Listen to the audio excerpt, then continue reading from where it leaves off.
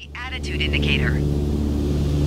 As the name implies, it shows your current attitude. The white line is the horizon, with the sky above and the ground below.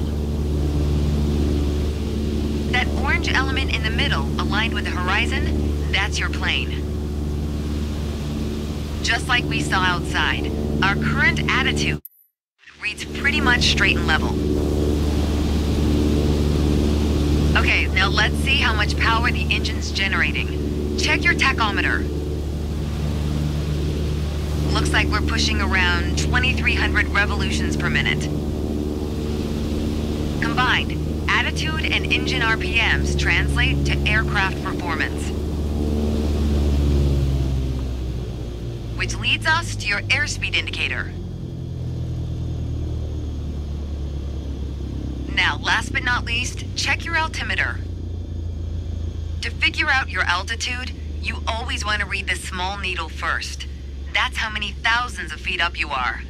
Then on to the big needle for the hundreds. With our current attitude and power output, we're holding a speed of 90 knots and a stable altitude of 6,000 feet. But that's about to change. Take the stick when you're ready. Back slightly on the yoke to raise the nose just above the horizon line. About two inches. Make sure you don't pitch up too much, or the angle will be too steep to create lift. And without enough lift, we'll stall. Alright, go full throttle and start climbing. Welcome to the climb attitude. See how it shows up on your attitude indicator and tachometer?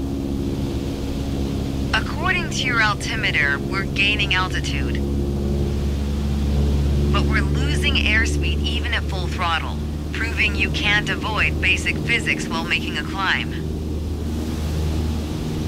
Okay, before we go on, let's get back to a cruise attitude. Ease up on the yoke and aim your nose just below the horizon. Then throttle back down to 2300 RPMs.